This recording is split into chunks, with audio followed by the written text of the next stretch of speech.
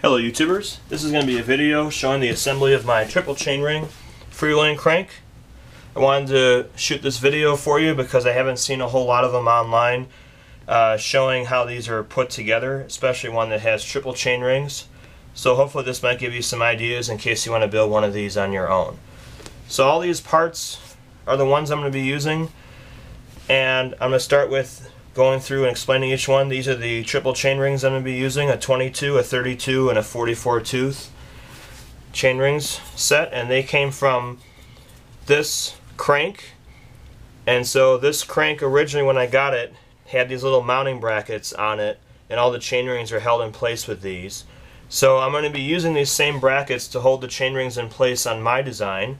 So this in itself doesn't work with the freewheel. There's no threads on it. And so unless I want to use this as a big giant paperweight, this is pretty much useless, so I'm going to get rid of it. The crank I'm going to use is this one. This is a special uh, freewheeling crank because you can see there it's got the threads on it. And so that's what I'm going to be using.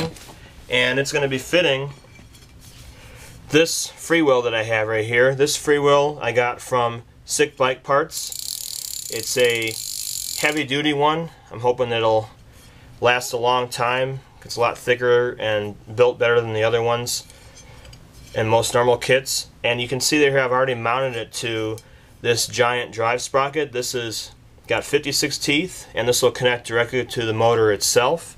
And these kind of sprockets normally come off of those gasoline powered kits. These would typically be mounted on the spokes of a bicycle um, and used as a drive. However, I'm going to be putting it directly onto the crank. So I had to modify the holes on here. Originally there were nine holes here as you can see and I had to drill some to fit the uh, freewheel. And then the other holes that you see there are for the sprocket because this is a four bolt pattern on it and so I wanted to drill some bolt holes to hold that. So this sprocket is not only going to be a drive sprocket but it's also going to be an adapter to fit all this together. So as you can see it took me more than once to get the alignment correct on that with a power drill it's difficult to make that perfectly centered but uh, this is the best I could do and I think it's pretty well centered just slightly off but it'll be good enough. So I'm going to start assembling this for you so you can see how this is put together. So I start with the sprocket and then I'm going to put these bolts through. And these bolts here each of them is going to have eight washers on it. And the uh, the washers are there to provide the right spacing between the drive sprocket and the 20 or 44 that I'm going to put on first.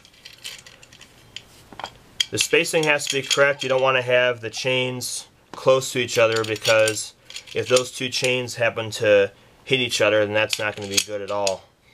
So once these are all in place now I'm ready for the first sprocket. So this is that 44 tooth sprocket chainring that's there. So notice I had to do some grinding on it to make it fit over the washers that are here. So this goes upside down in place like this over the bolts. Next one is the 32 tooth chain ring.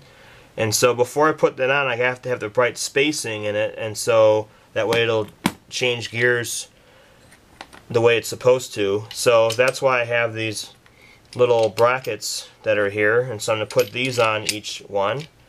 And when this is in place they're going to rise up and provide the right spacing in between. So when I put this on right now you'll see that these are rising up. And so now these little posts that you see right here these are threaded. And so these will accept the 22 tooth. Now before I put that one on though, I want to make sure that all these are tightened down first. So I couldn't use regular bolts on these because if I did, it would block the chain from shifting. So I had to find another way of doing that. And so what I'm using is these here, they're, they're uh, brad screws or I guess they're um, post, uh, binding posts I guess is what you'd call them. And they were originally circular and I grinded them down to make it fit the grooves that are right here. So each of these will get screwed in and you notice that when I screw, tighten these down here that it's flush against the chainring and so that way it's not going to block the chain from shifting. Or at least that's the idea. So we'll we'll see how that works in in real time. But in theory that's hopefully it should work that way. Put that one on and then here's the final one. And then once this is in place like this, I'm going to go ahead and tighten these up from the back. Okay, so just do that. Quick tighten. I'll, I'll uh, use a ratchet on these before I put it on my bicycle, but for video purposes I'm just going to hand tighten these for now so you can get the idea. Okay, so now these middle posts are ready for the 22 tooth, and I'm using the original bolts that came with the uh, chainring set. Okay, it's much easier if you buy a triple chainring to use get one that has the removable chain rings on it because that way you have these bolts that you can use and you don't have to worry about the rivets because rivets those are really hard to take off because you got to drill through them and I just don't have the right tools to make that easy to do so that's why I wanted to get these removable chain rings instead. That way I got these bolts on here that I can put in and use that as part of my design. So now all these are in place as you can see there. And this is going to be the finished assembly. And now here's what it looks like from the side. So it'll basically spin like this and the pedals will remain stationary.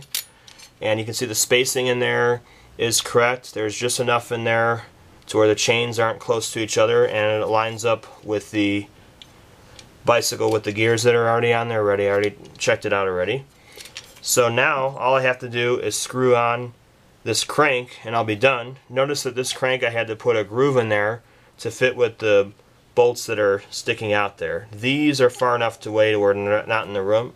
They have enough room there. So now when I put all this together, it'll be complete. So hopefully that video was helpful for you.